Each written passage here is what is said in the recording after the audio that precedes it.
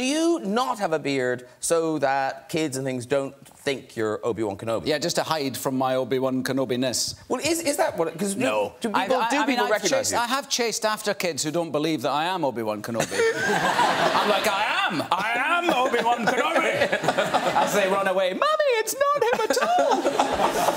and I, I once, um, I once, I saw in somebody's eyes once, I was driving my kids to school, and I was at a stop sign, and some... Like, this is the thing about LA, you get like 16 or 15 and a half-year-olds driving cars, blew past us at a stop sign. And I thought that was very dangerous, because it was. And I pulled up, I raced after him, and my daughter was like, don't, Dad, don't. And I was like, I will, I am going to. and I pulled up beside him, and I started raging at him. You idiot, you fucking idiot, like this. And my daughters were going like that, Dad. But I saw in his eyes, I saw the, that's fucking Obi-Wan Kenobi.